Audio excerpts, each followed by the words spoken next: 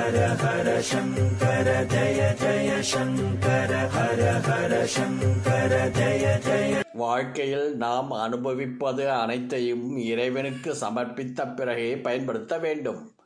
மனிதனாக பிறந்தவனுக்கு எவ்வளவோ பாக்கியங்கள் உண்டு. அனைத்து பாக்கியங்களிலும் மேலான பாக்கியம் பிறருக்கு சேவை செய்வதே.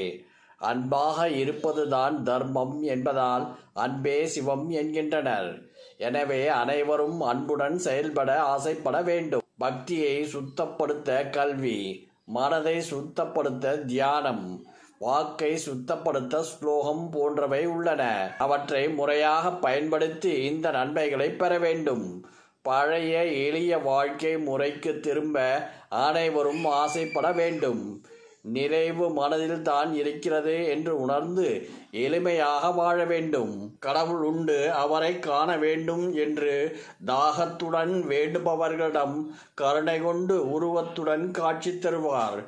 அருவமாயினும் உருவம் கொள்வார். ஹர ஹர சங்கர ஜய ஜய சங்கர ஹர ஹர சங்கர ஜய ஜய